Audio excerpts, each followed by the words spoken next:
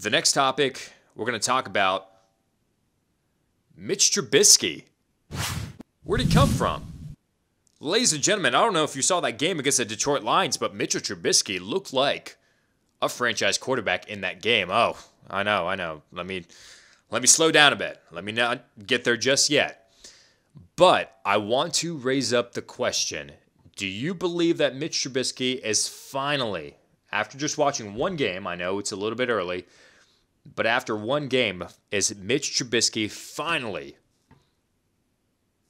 that answer for the franchise quarterback for the Chicago Bears?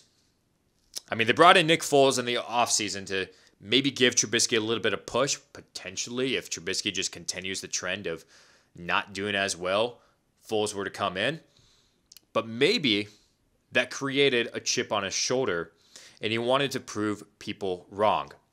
This past week against the Detroit Lions, 242 yards, three passing touchdowns, uh, 55.6% completed. But hey, 104.2 passer rating. And on top of that, he had a long and beautiful 20 yard run. People underrate his ability to run with the football. So, Trubisky, if we're talking about Russell Wilson being on pace for 64 touchdowns for the season, Mitchell Trubisky currently is on pace for 48 passing touchdowns for the 2020 NFL season. Hey, I mean, stats don't lie. Stats don't lie probably won't happen. But that game against the Detroit Lions kind of surprised me because the Bears were to come, they came back under a uh, being a, in a deficit against the Detroit Lions. Trubisky led the charge, led the team, and helped the Chicago Bears pick up that victory.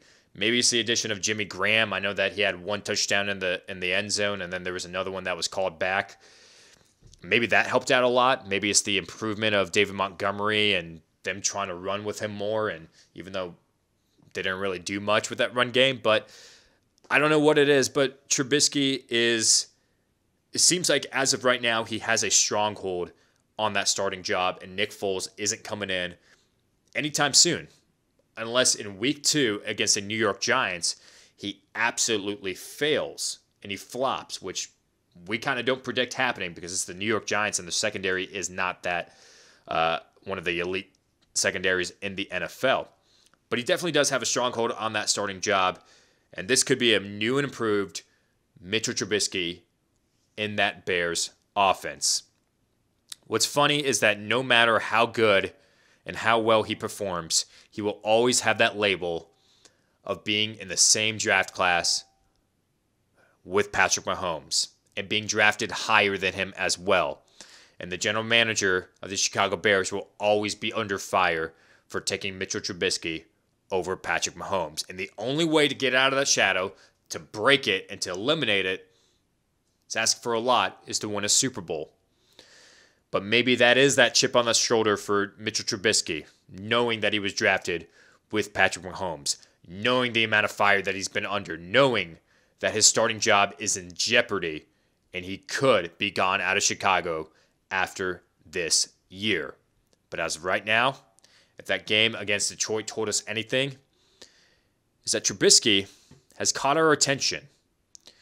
We're not going to go ahead and label him as a Pro Bowler. We're not going to go ahead and label him as the next Patrick Mahomes in that draft class. But instead, it's caught our attention enough to let us sit back, let us watch, and at least give him a little bit more grace and a little bit more time to show us what exactly he is made of.